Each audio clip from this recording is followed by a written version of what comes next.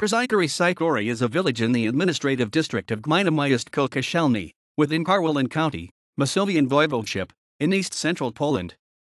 It lies approximately 7 kilometers, 4 miles, west of Miastków Kościelny, 9 kilometers 6 miles east of Garwolin, and 62 kilometers 39 miles southeast of Warsaw. Equals equals references equals equals.